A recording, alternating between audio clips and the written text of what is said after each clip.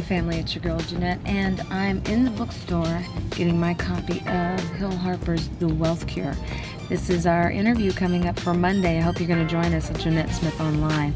Now, you look at the title and you're thinking The Wealth Cure, putting money in its place. This is some other, another financial advisement book. And what does the, you know, CSI New York guy know about that? I want to tell you right now, this is much more. I've already sat down over in the coffee shop and read parts of this that it is amazingly not what you think it is.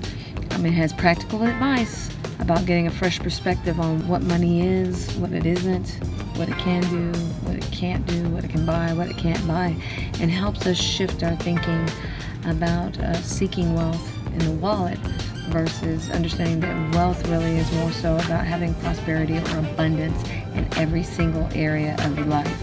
It does have exercises in here to help you know people gain perspective on, uh, on how much it costs to be you and um, and where you should be reaching and, and striving for and, and, looking at money more as a tool to help you do the things that are really the most important things in life fulfilling your purpose and following your dreams.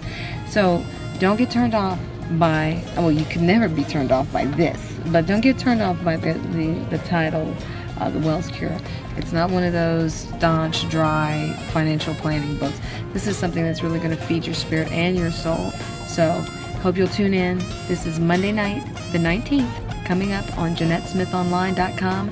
Me with a conversation with Hill Harper. We'll see you then.